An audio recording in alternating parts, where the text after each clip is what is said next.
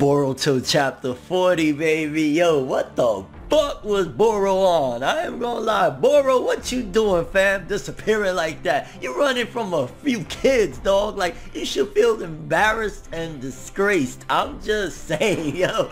Boruto chapter 40, though. The action, the intensity, the battles, the plays, the strategy. Seeing Mitsuki going in. All the talks, more of these plans that Kara got. Like, yo.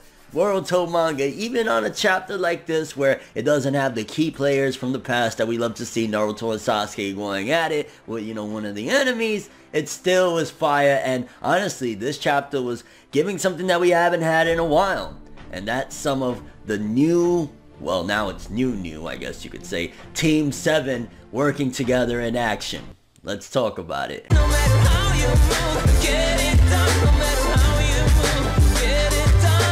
That's right, people. Finally, I, I, the the month wait be killing you, boy. I I be like, oh my gosh, stressed out. Like, yo, how many more days until Boruto's next chapter? I be bugged out waiting for this shit. I ain't gonna lie, cause I love it. I love it. I love it. In this chapter, it was awesome again to just see it taking it back to the roots a little bit. Seeing you know the three man cell, I guess four man now technically, but you know seeing three man cell team working together in a really really drastic battle. But before that Chapter opens up. We got Shikamaru there stressed out as hell like, yo, what's going on, fam? Uh, Boruto better get back here safe. Apparently, Sasuke is no longer in critical condition, but he's unconscious, which is a, uh, I ain't gonna lie, a nice little escaping plot point to allow the new generation to go at it. Because if Sasuke wasn't unconscious and he could just immediately teleport over there, he probably would. So yeah, knock him unconscious so Boruto, Sarada, them could actually have a moment for a change, which, don't get me wrong, I, I, I prefer, I'll be honest with you, even though it's the Boruto, Naruto Next Generation manga, whatever, I still always prefer when the older generation is involved. But again, you gotta figure out some loophole to get them over there. And I mean, they did just take a really mean ass whipping from the hands of Ishiki Otsutsuki, you know what I'm saying, or Jigen, whatever the heck you want to call them. So you gotta, you gotta put that into account when it comes to why the hell is Sasuke out cold right now, fam? Like, we need you, dog. What you doing? Then we cut back to the battlefield. Boro's there, cocky as ever. Like, yo, fam, uh, you, you, ain't getting this dude. But honestly, I, will be real. So far out of the Kara members uh, that we've seen in action, Delta was like a hothead, reminded me of like an Android 18. Because let's and I've said this many times, but let's not kid ourselves. This is essentially the Android saga of you know Boruto or the Naruto universe, whatever you want to call it, because now it's more and more just starting to look almost not identical, but in terms of like these are definitely artificial beings. Which, side note, also has a great escape point for what was going on with these people, assuming that they were all recruited and, and around back when the Moon Eye plan went down. Because you think about it, if they're not actually human, if there's like replaceable deltas and possibly replaceable boros, or they're like a combo of artificial and real being, but at the same time more artificial, then the Moon Eye plan might have not even worked on them. So it would make sense why they were not affected by the big battle that happened, you know, at the end of the Naruto manga when Kaguya showed up and Madara and the Moon Eye plan and everything, which that's pretty awesome because I was always like, well, any villain that comes up at this particular point that is still from that era. What the hell were they doing when, you know, the, the whole Moon Eye plan went down? They must have been in a dreamlike state them damn selves, right? Like, how did, you know what I'm saying? So, very, very cool that at the very least, assuming that again, these are really just like some androids or a hybrid of some sort, they probably weren't put under the Moon Eye plan, but who knows? But Boro, he throws the jar uh, with Naruto in it at them as a diversion, which again, seems as though he's a slimy dude. He's a slimy dude. He uses a lot of trickery for starters. And, and again, I look at Boro like, okay, you may be strong, dog, but you look like an old man and you tricking these little ass kids. You a boomer right now, okay? Boro's a boomer. I'm just calling it.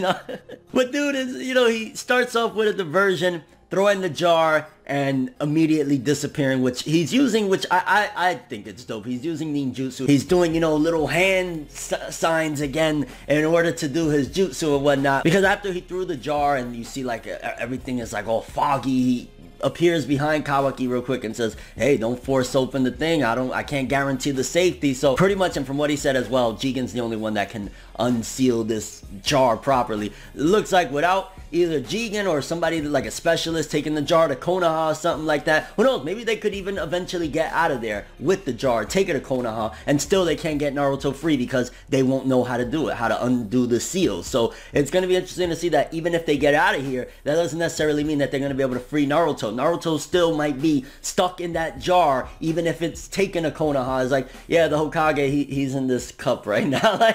and then after spraying his acid, he starts getting hit. Boro starts taking hit, which, eh, again, if they're cybernetic beings, you know, if they're like basically robots, so to speak, uh, it would make kind of sense why they would be able to regenerate because he takes a, a Rasengan, he gets, you know, really pummeled and he's able to just constantly regenerate and heal himself. So uh, I guess as a robot, even though it's like, man, this is going the DBZ route in terms of like, I remember, uh, I want to say it was like Cell was the first one that could really regenerate and it was like, whoa, this is a big deal. And then Majin Buu had it. So I was like, oh, okay, you know, it ain't that big of a deal now, folks. But he's able to regenerate and uh, he's just, again, using a lot of trickery. It seems as though this dude, he's strong in certain aspects. Like, you know, he says lava style, uh, planet buster, or whatever the heck. But at the end of the day, he's mainly just using like this invisible, because, you know, the title of the chapter is what, invisible, something like that, invisible jutsu. Um, so he's, he's going invisible and just using trickery, using this mist that they could absorb the acid that he threw, but they can't absorb the mist because it's some sort of jutsu that he has going on, which so far Boro's eye. I mean, at the end of the day, I feel as though because because of the nature of the fight. Like Boro is, you know, one of the members of Kara, the Akatsuki of the Boruto manga, so to speak. And,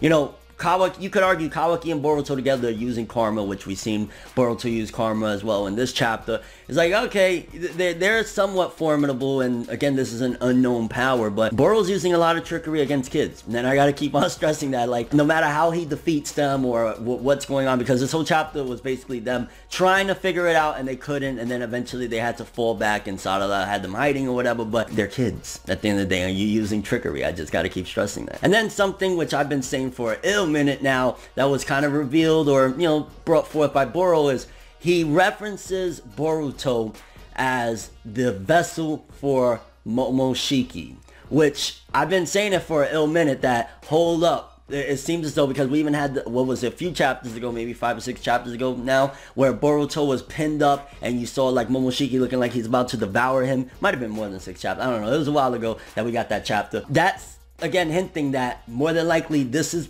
who knows? This whole thing with Kara, because if Ishiki Otsutsuki has been revealed to be, um, you know, or Jigen was revealed to be Ishiki Otsutsuki, an Otsutsuki clan member, this could possibly be all a plan from the Otsutsuki to begin with, or just one Otsutsuki. And because you gotta also take into account, he refers to him as that, but then at the same time, he's like, oh, you know, we, we had this deadline, basically, we was rushing, but now, thanks to you, we, we good. We don't gotta push forth that hard, you know, we don't got this deadline anymore, which, okay, well, what deadline did you guys have? Why was you rushing to begin with? What What's up? Well, we've seen from what Ishiki Otsutsuki had said in, you know, a few chapters ago, Jigen, whatever, that oh man, this body's almost done. I, I, need to use the vessel real quick. So if he needed to jump vessels, maybe there's a possibility that all of them have some time limit or is some time limit to do with the fact that maybe their bodies can't hold out that much and they need these Otsutsuki powers because just because you know, Ishiki is in Otsutsuki doesn't mean that he's rocking with Momoshiki and gonna be like, ah, oh, brethren, return, return, brethren. Like, I don't think that's gonna happen, folks. And I ain't gonna lie, I was hyped when I saw Mitsuki jump in because, you know, you got this dark mist everywhere, which it was a little hard to, like, I, I read the chapter a couple different times, like, uh, I don't really see the mist all that much. But you got Mitsuki jumping in there, trying every which way. And again, it's showing that Boro, even when he does go head to head, like, you know, because I've been stressing throughout this, like, yo, you're fighting children and, you know, you're supposed to be a Kara member, whatever. But I will say that even when Mitsuki tried to use all that he could, he tried to trick him using the lightning and then eventually had the snake he was able to, oh, where you think you got me wrapped up, fam, and drag him down and kick his ass too. So it's not that Boro's weak by any means. It's just like, I guess that's his, his fighting style. His fighting style is slimy and grimy, which for villain, yeah, that, that, that works, I guess, right? Because no matter if it's a kid or uh, an adult, he's going to probably use the same type of fighting style. But Mitsuki, I, I, I was hyped for a minute, like, yo, is he gonna go Sage mode? This is the perfect time because I said this in my spoiler video uh, when we got a little bit of spoilers for this chapter that Mitsuki basically would be their best bet if this guy is an invisible jutsu user because he has the Sage mode. Sage mode can sense whatever. That was one of the best things about Sage mode. So Mitsuki, even though he kind of got a little whacked in this one, they all still are you know, they're not completely defeated yet. So I think in the next one, if they're going to continue this battle, Mitsuki, his best bet would be to go Sage mode. And I mean, at the end of the day, they could keep the secret. You know what I'm saying? Like, that's one of the things. He just would have to trust out on them. Or it could be that he actually does have to leave the village. Or who knows, Mitsuki could die in this one. Like, uh, we didn't see me. I mean, granted, we didn't see Sarada or anybody else. But we didn't see Mitsuki in that final battle with Boruto and Kawaki. I'm just saying. And again, like I said, and, and I think that that was one of the focuses of this chapter and one of the purposes of this chapter to just give Team 7, the new Team 7, or, well, minus Kawaki, because obviously now he's a part of it, but the color page alone was expressing what this was going to really do, because then Sarada had a moment as well. Mitsuki had a moment going in, didn't really pan out well, then Sarada just picks up this giant boulder and throws it, and um, this is a chapter, if you're a fan of Sarada, you're definitely going to go, woo! But also, uh, it just proves even further, like, Sarada is way better than her mother ever was, okay? Because not only is she able to assess the situation, not only is she able to just throw this freaking hulking boulder and take everyone out of there, not only is she able to regroup, she's also able to raise everyone's morale. Like, this is all pushing forth that eventually she will be the Hokage. Whether it's, like, not necessarily after Naruto, maybe somebody else, Shikamaru or Konohamaru might come after Naruto. But then after that, Sarada will be the Hokage. She's showing all signs of leadership skills. She's like, yo, I'm not running. Uh, um, you know, it's not that my main priority at the end of the day is I want to get the Hokage, of course. But in order to do that, we need to team up and work together. We need to use teamwork. This is the new Team 7, baby. And they're about to strike back. And it just shows Sarada beast. Better than her mom. Like, I will always, from here on out, say, until we see otherwise, Sarada over Sakura anytime. Like, this is what I'm talking about. Like, if this was Naruto, Naruto Shippuden, Sakura would have been like, no, please, Sasuke! Sarada ain't on that, baby. I love it. I love it. That's the Uchiha genes in her. That ain't the Haruno stuff. I'm just saying. And overall, this chapter, was it as crazy as the last couple ones? Nah. But it was still a pretty dope chapter. It was cool to get back to the basics of, you know, Team 7 working together on a mission. It's cool to see that they're kind of including Kawaki as a part of Team 7 now. I don't know if he's going to get taken at this particular point after all this happens or what's going to happen in terms of, um, you know, moving forward with Kawaki. Because we know, again, we always got to keep on going back to, at the end of the day, we know how this story is going to somewhat end. We don't know if there'll be arcs after that, obviously. But uh, Kawaki will fight Boruto at some given point. Will it be that he gets kidnapped now, changes his mind? What's going to happen? Only time will tell. But pretty awesome action. Very interesting to see a couple notes. Uh, what do you think about Boruto uh, being referenced as Momoshiki's vessel? What was this urgent deadline that they were trying to beat that now they don't need to worry about because they got Boruto as a, another vessel there for Momoshiki? Is Ishiki Otsutsuki going to be cool with Momoshiki, try to get him out of there? Or is it that they want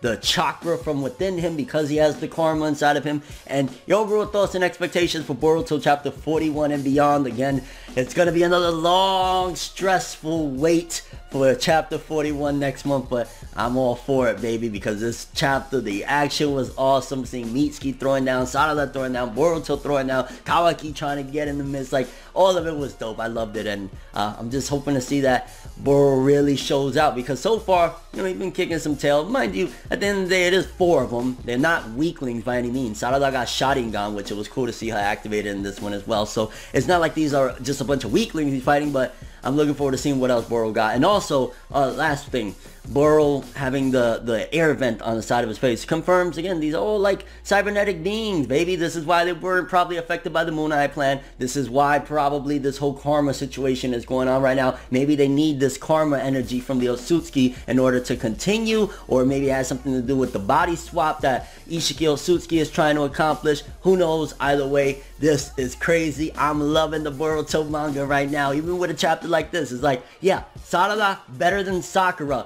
change my mind, fam. Show me something, like, cause I'm just saying, like, that little Chiha girl, she she's off to bigger and better things, mate. But that's all I have for this one though. Thanks for watching. Hope you enjoyed. If you liked anything I had to say or enjoyed the video, drop me a like. I'd greatly appreciate it. And if you want more from me, make sure to subscribe. Follow me on Twitter, Instagram. Hit that bell to get all notifications. And if you want to follow any of my other social media, links of course will be in the description below. I'm ForneverWorld and as always people, have an awesome day. And remember the golden rule anime, and manga for life, boy! Have an awesome day, peace in, and Boruto, baby, let's go! Enjoy the next ride, but I was the best ride. But I hope you know